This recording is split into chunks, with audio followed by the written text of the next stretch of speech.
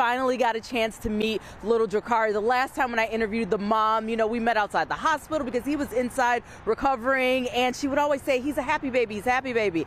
Guys, met him, was with him for a good hour, smiled the entire time. Now, just like the first interview, the mom did not want to be shown on camera, but the little boy was, and she says him smiling is all that matters.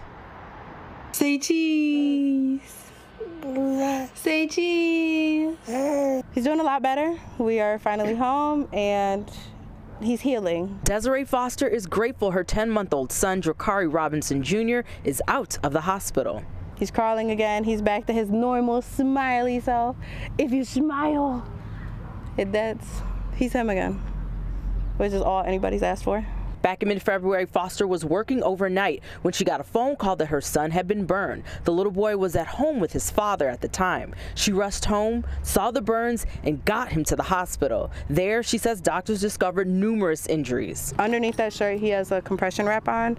Um, he is scarred from the chest, all over the back, his inner thigh. Little Drakari spent the next two months recovering at Children's Hospital. Foster says the doctors and nurses were great, but they warned her that his road to recovery will be a long one. It's difficult. He has doctor's appointments constantly. Um, we're still waiting on some of his fingers to auto amputate, so that's pretty scary. She says he's at the doctor's office four times a week, and for her, she's recovering too. I haven't been able to return to work because I'm still trying to figure everything out, figure my schedule out. I'm just, I'm trying to heal as much as I can.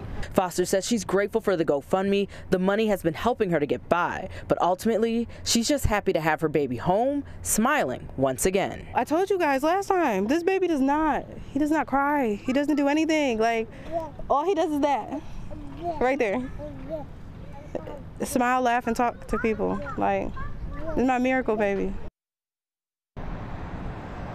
Now, as for the father, he was arrested on child abuse charges back in March, and Desiree Foster says that since then, the prosecuting attorney have told her that he's been offered a plea deal, which includes some jail time and probation. She's not happy about that. She wants him to truly be held accountable for his actions. And see, he, she says that he will return to court later this month. Now, in the meantime, she says that she plans to change her son's name so that it does not match the father's. Reporting live here in Warren, Lauren Edwards, Fox 2 News.